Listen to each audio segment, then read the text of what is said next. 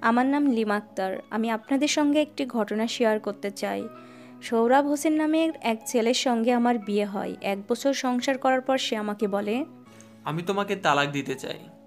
এবং সে আমাকে তালাকও দিয়ে দেয়।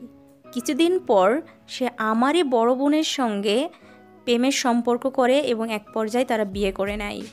বিয়ে করার তিন বছরের মাথায় আমার ছোট বোন পোশাক কারখানায় কাজ করার জন্য বড় বোনের বাসায় যায়। আল্লাহর অশেষ রহমতে সে একই কারখানায় কাজটা পেয়ে যায়। পেয়ে যাওয়ার পর সে বড় বোনের সঙ্গেই থাকা শুরু করে এবং হঠাৎ একদিন ছোট বোন বমি করা শুরু করে। বড় বোন তখন তাকে নিয়ে হাসপাতালে ডাক্তারের কাছে নিয়ে যায়। ডাক্তার তাকে প্রেগনেন্ট ঘোষণা করে।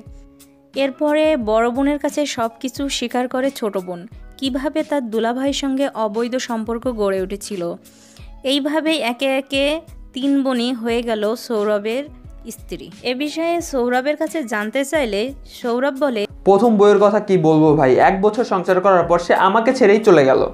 দ্বিতীয় বইয়ের কথা যদি বলি, তিন বছর সংসার করেছি, কোনো বাচ্চা কাচ্চা নাই। এখন কি করব আমি? এই জন্য এই অঘটনটা আমি ঘটাইছি, তৃতীয় বিয়ে করেছি। দর্শক, ঘটনাটা এ পর্যন্তই শেষ। এখন আমি আসি আসল কথাতে।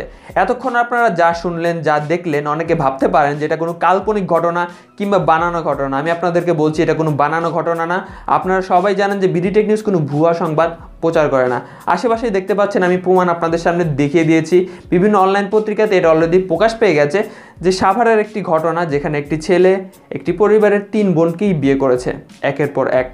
যাই হোক, আমি এই ছেলেটাকে ধিক্কার জানাই। আপনার যদি কোনো কমেন্ট থাকে এই ছেলে এবং এই মেয়েদের বিরুদ্ধে কিংবা পক্ষে, অবশ্যই কমেন্ট বক্সে জানাবেন। আর হ্যাঁ আমি এই ভিডিওটা তৈরি করেছি আপনাদের বোঝানোর জন্য, বিভিন্ন ধরনের ছবি ব্যবহার করেছি, শুধুমাত্র আপনাদের বোঝানোর জন্য। এই ভিডিওতে একটিমাত্র ছবি রিয়েল সেটা হচ্ছে পাশে দেখতে পাচ্ছেন, যেখানে ছেলে এবং তিন বোনকে দেখা যাচ্ছে। আশা করি আপনারা ভিডিওটা বুঝতে পেরেছেন।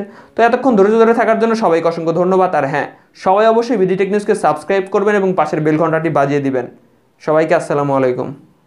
এভাবে আর কতদিন? আজকে যদি আমরা এইসব বিষয় তুচ্ছ করে দেখি, একদিন আমাদের সমাজটা নষ্ট হয়ে যাবে।